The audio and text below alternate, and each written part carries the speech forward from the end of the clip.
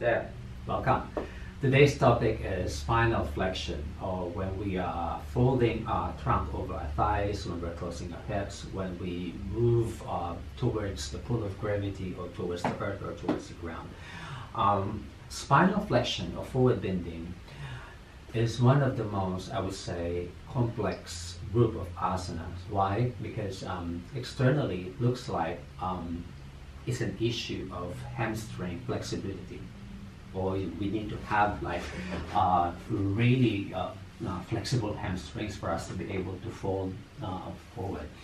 Uh, externally looks like that, but um, actually it's more of uh, an issue of mobility around the hips and an issue of the breath because the breath is uh, very important when we flex forward um, because you don't want to be fighting uh, you don't want to be going against the flow of your energy when you fall forward otherwise if you will fight the flow of energy if you will if you will move towards the opposite direction of the inherent flow of energy you might be hurting yourself uh, rather than uh, safely uh, practice this complex. And I would say uh, forward bending is one of the most injurious um, groups of asanas when um, we practice this without care and without utmost awareness of the breath and understanding of uh, many components actually surrounding this asana. All right, so there are many, but I will just give you maybe two or three tips. Um, very important principles when we fold forward and how we could actually uh, develop the skill um, so that over time when we fold, when we do the asanas um, we we will not be thinking of all of these uh, principles anymore. It becomes like inherent for us. Um, number one would be this um, uh, we need to develop um, hip mobility uh, because the hips um, for me are more important uh, rather than the hamstrings. Because when the hips are open, uh, the spine is able to move uh, with ease around the joints of the hips. So a good drill would be for us to practice um, elements which promote hip flexibility and hip mobility. So what are this? Um, movements where we allow the hips to go actively all right.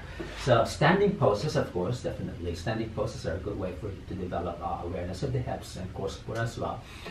But I would encourage you to um, do movements such as, yeah, crossing your knees between the arms and then holding the balance, all right? Because that movement, all right, or jumps or active hip movement, um, when you when you become efficient with um, those elements, it becomes inherent or natural for you.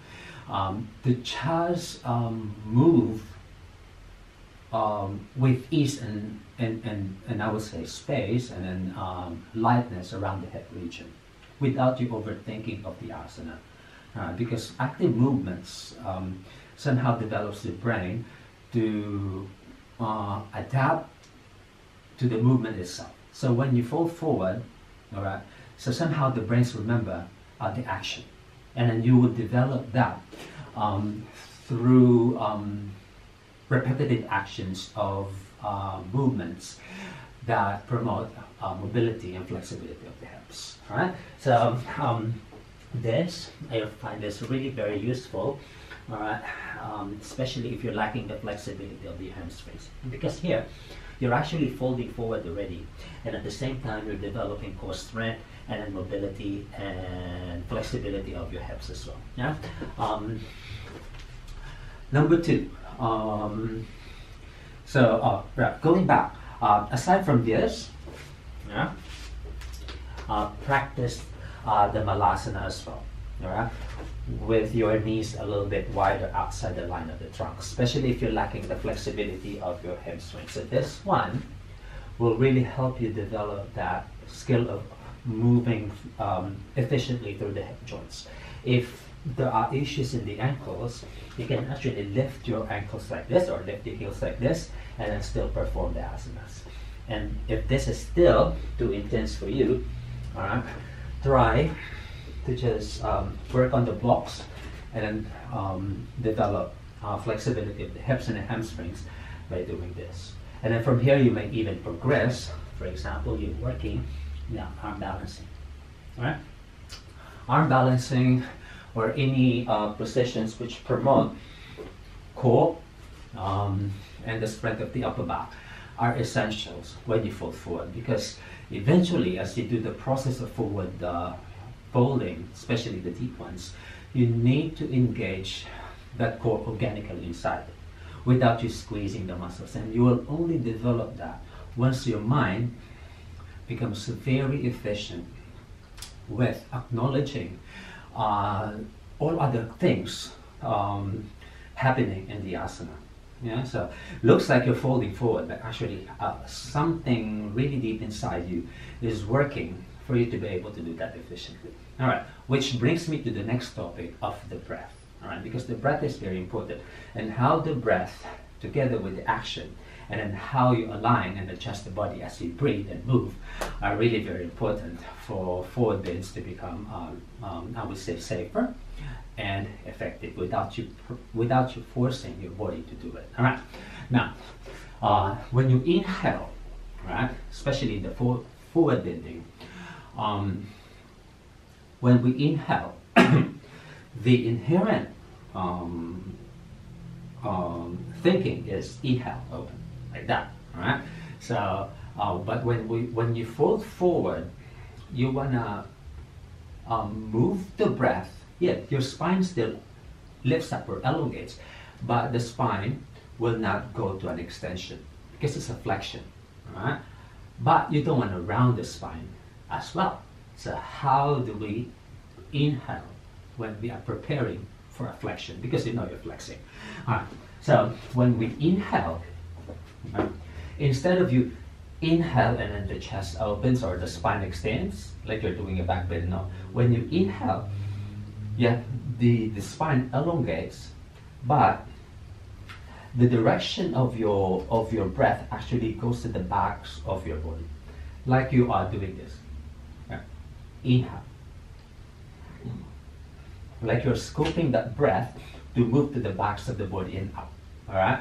I describe this one like you're folding uh, the muscles of tummy, the tummy, up and towards the back pockets of the ribs, and the sensation actually creeps up here and the upper back elongates forward, but the spine will not go to an extension. Rather, the spine will go to a flexion. It, likes, it uh, looks like from the outside, it forms like a dome shape in the front. Right. Which brings me to the next topic of this. Um, is it really a requirement that the trunk go flat over the thighs like this? All right. Really press down no. All right. Uh, looks like from the outside, yes, a full forward, but actually inside, the sensation is the the the inner body will actually lift the backs of the body. So as you fold forward, there's actually a little gap. Yeah, you're not really making your body flat in an attempt to really go to a deflection. Rather, um, as the spine elongates forward like a dome, this one will rise up. See? Instead of me going really flat, it's more of this. It's like a dome shape, yeah? Like a curve, and it elongates forward. Yeah? So like the spine keeps moving long, yes, even if you're folding forward, even if you're flexing, the spine keeps elongated, elongating, but in a flexing action rather than extension. Alright? Rather than this, where you force the spines to open, which is quite dangerous for the health of your low back and the hamstrings. You are using the core now to support that lengthening or the elongation of your spine towards the horizontal when you fall forward. Thus, now inhale are supposed to inhale, yeah, inhale to prepare for your folding forward. All right, but that's only the inhalation. All right, exhalation. All right.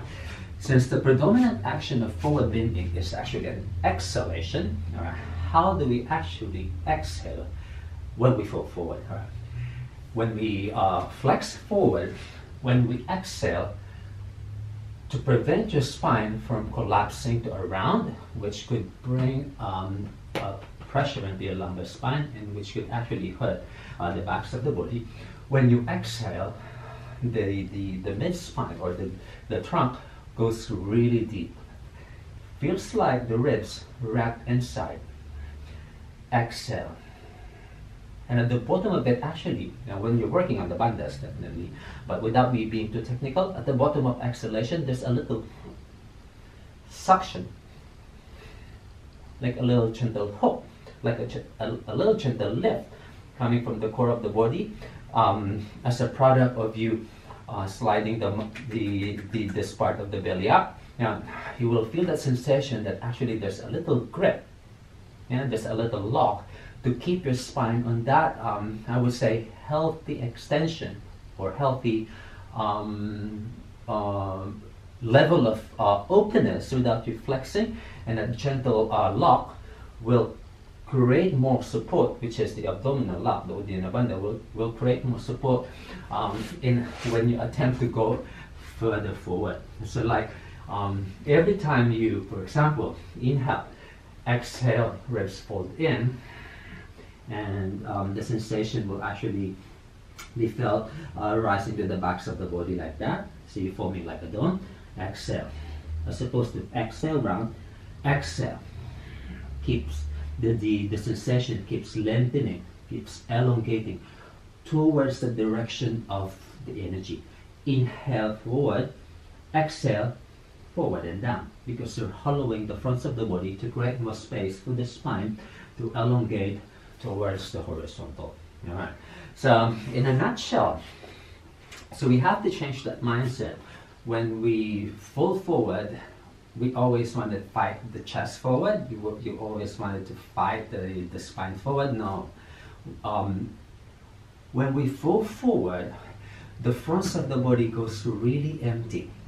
Thus, don't be caught up with that idea that the chest should be flat over the thighs. Actually, no.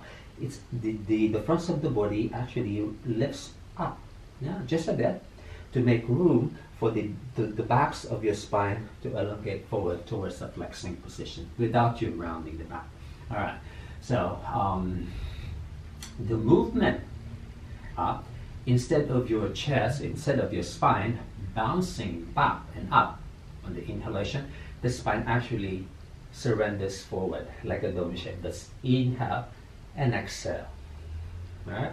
So um, it's natural, yeah, especially if you're engaging the core, that this part of your chest will not fully touch the thighs. So how um, this one relates to people who are not as flexible in the backs of the thighs. Yeah, all right. So, um, for example, you're sitting like that, and then um, when you're upright, when the spine is uh, is upright like this, and then the thighs, obviously that the, the legs you just relax head. Now, you don't want to really be forcing the chest to touch your thighs. Yeah, so keep the rest of your lower limbs, um, I say neutral. Now, as you inhale, inhale, slide it in and back. Yeah, so there's a little bit of your shoulders hanging to create room for the spine to elongate. And as you exhale, hollow this even more, but keep rolling this up and then there. Yeah?